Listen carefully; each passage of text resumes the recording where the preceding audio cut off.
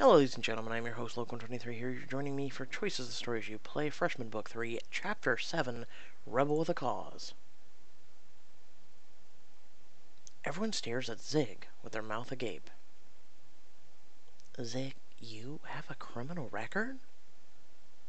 Uh, Chris, you're about to lose your standing as Hartfeld's resident criminal. Uh, Sebastian, shut up. Uh, Chris, huh?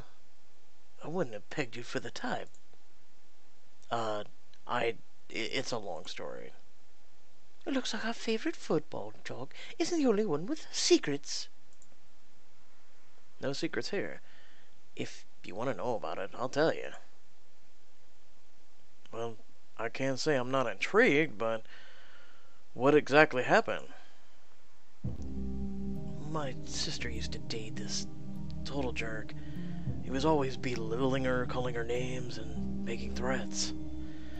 Sometimes weeks would go by where I would have no idea what was going on because he wouldn't let me talk to her. They dated for two years, but when I was in high school, she finally broke up with him. I was helping her move her stuff out of his place when he showed up in the middle of it and started getting aggressive. I didn't intend for things to get violent, but he grabbed my sister. When I tried to pull him away, he threw a punch at me. So I beat the hell out of him. I got expelled, ended up spending the next year in juvie. Wow.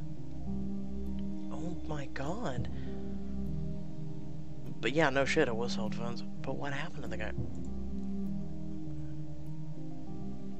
It was hard to make the uh, argument when there was hardly a scratch on me, and the other guy was a mess.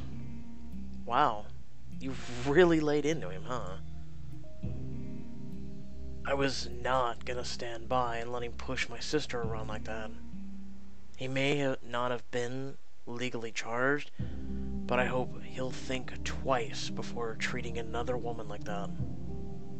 That's awful that you had to hear the bear the brunt of the consequences though. Yeah, we all make mistakes, but at least your intentions were good. It was a mistake. I would do it again in a heartbeat. As long as I protect the people I love, I don't care what happens to me. Hmm. Well, leave it to a thug like you to try and justify it. You sure you want to finish that sentence, Captain Trust Fund? Oh. That's what I thought. Um, hey, who wants to play a round of beer pong? Oh yes, let's set the table up.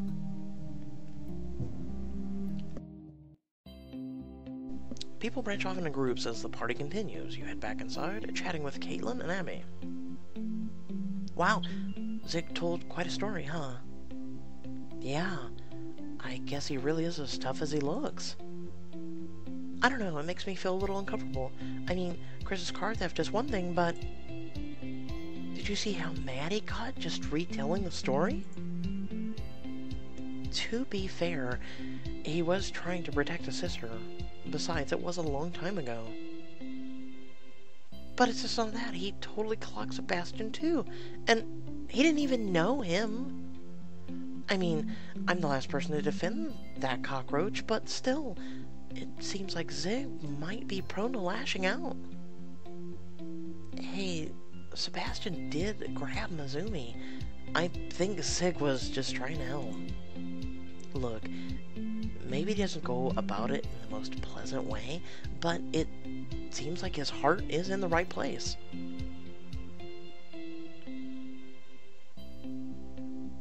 To be honest, he scares me a little.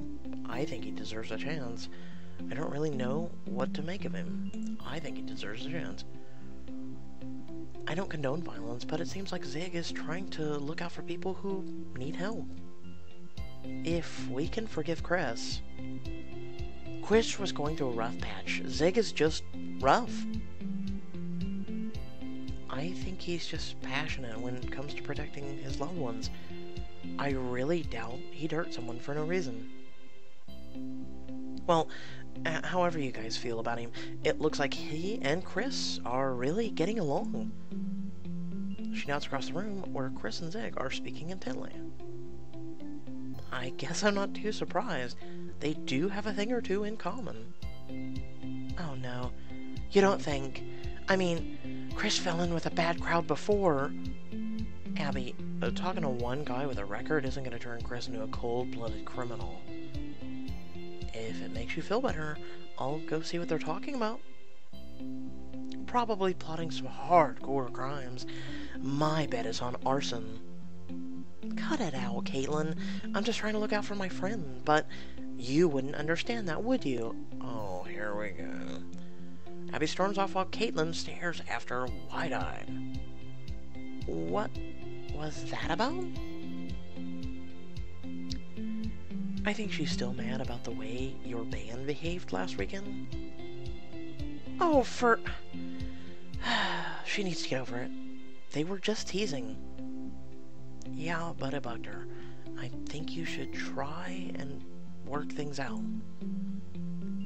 How am I supposed to work things out if she keeps running away instead of talking to me? Kaitlyn. Look, I'll go talk to her, okay? Thank you.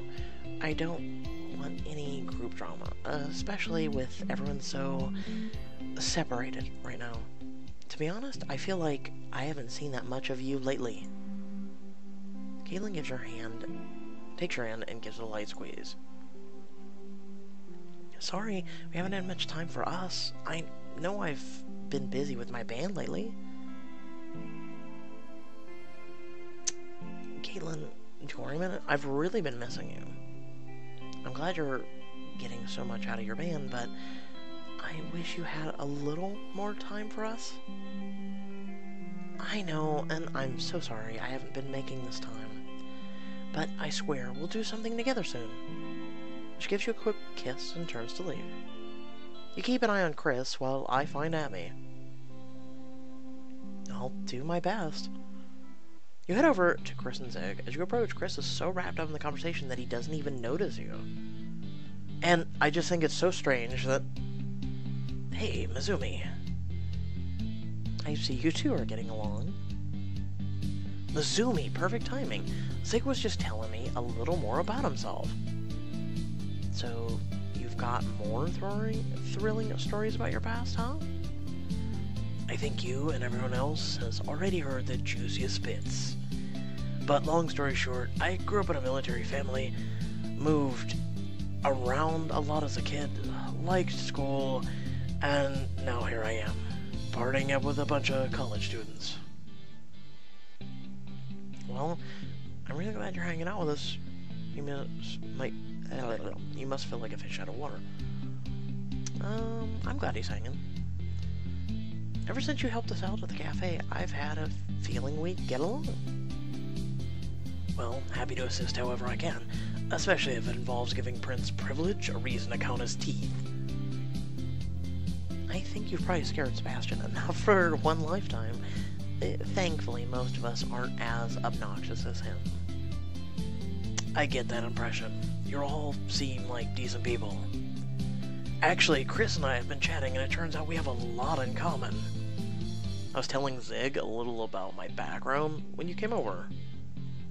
I gotta say, man, you give me hope for overcoming my rap sheet. I could use a second chance. You said you like school. Have you thought about college? I always wanted to. I actually did well on my SATs. That I got an early acceptance from a few colleges during my junior year. But after the incident with my sister's ex, all those offers were revoked. But I haven't given up hope yet. If Chris was able to do it, maybe there's a chance for me too. He looked Chris. He's staring off in his face, his brow furrowed in concentration. Chris, I know that look. You have an idea you want to share with us? Zig, you've given me a great idea for my next student council proposal. Really? What kind of proposal? Look, I need to work out the details, but I want to do something to help people like us. I got a Hartfeld because I got a second chance, and I want to pass that on. You know what? I'm gonna head home. I need to write some down some of these ideas. It was great talking to you, Zig. I hope we'll be in touch. For sure, man. See you later. Chris grins at both of you and hurries off towards the door. Well, it looks like it's just you and me. The busy life of college students, huh? Oh, something like that. Is something wrong? I just... I guess I'm kind of a weird place with my friends right now. Sorry to hear that. Feel like Sharon, I've been told I'm a great listener. When we first all met, I felt like we were gonna be friends forever. But now, everyone's busy meeting new friends, or people, getting into fights with other people, or I'm worried that we're drifting apart. Hey, everyone has their shortcomings, and you'll find them when you know a person long enough. Things can't be perfect all the time. What matters is how you deal with that, and what you're willing to do to make things work. If you really care about each other, you'll get through this and be closer because of it. Absolutely right. Not so sure I'm getting frustrated. Personal preference and history, you're absolutely right. We've been through a lot, and we've always had each other's backs. The corner won't be any different. See? You know it's true. You'll get through this. I just wish everyone wasn't so busy. I don't want to spend tonight alone. You don't have to, you know. I'm standing in front of you. I found this cool little dive on the other side of town. He could grab some drinks, play some pool. Just as a friend thing. You've been kind to me and I want to return the favor. You glance around the room, but all your friends have all left. You let out a sigh. You know what? Let's do it. That's what I like to hear. I promise it'll be fun. I don't doubt it. Let's bounce. You say catch a cab downtown. Then he ushers you into a small, dark dive bar. A few gruff-looking patrons dot the room, and the air smells of stale beer. There's a pool table in the corner. Here we are. McLennan's, my favorite watering hole in all of Hartfeld. At least so far. A busted television, too. Wow, this place is really sketchy, really cool. I love the atmosphere. I feel like this place must have some great stories. You're right about that. The other day, the bartender shared some incredible memories about the fire of 86. Remind me to tell you sometime. I'm excited to hear all about it. How about I grab us some beers and find us a place to sit? Sure thing. You take a seat by the pool table and Zig joins you with two brimming steins of beer. How did you find out about this place? I was just exploring the city when I found it. It reminds me of this crap bar where I got my first job when I was 17. I'd saved up, take my sisters to the movies. Aw, that's sweet.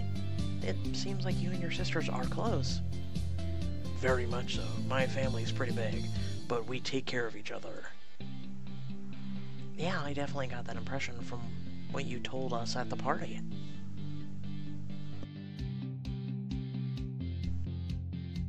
Look, Mizumi, I know I might come off as a little intense, but I'm just trying to do what's right. You don't have to agree with me, but I need you to understand I can't sit idly by when I see someone being cruel. Like your sister's ex or Sebastian? Guys like that are never going to be held accountable for their actions. If you want justice, sometimes you have to step outside the box. Hmm. I don't agree with that. I understand where you're coming from, but there are... But there's gotta be another way.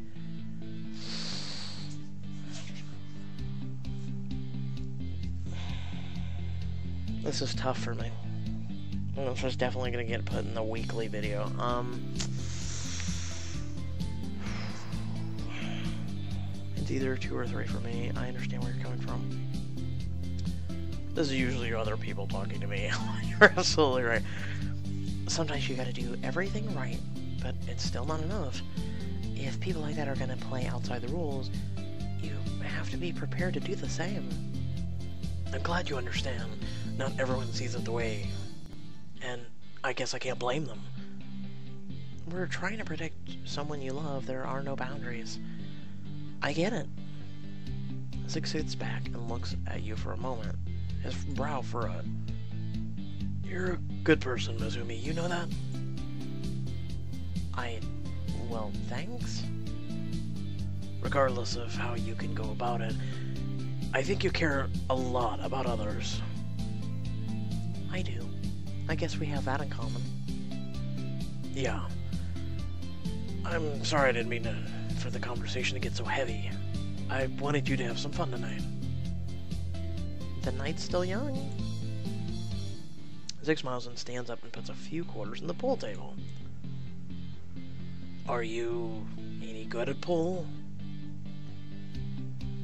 Oh.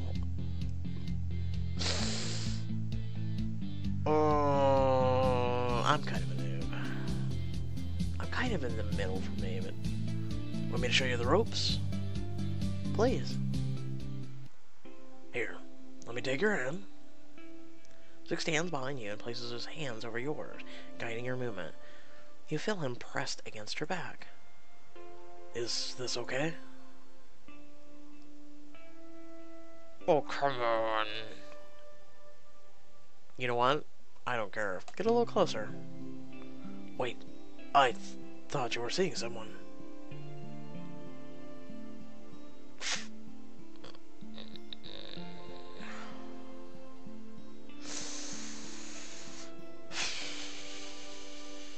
Yeah, I am.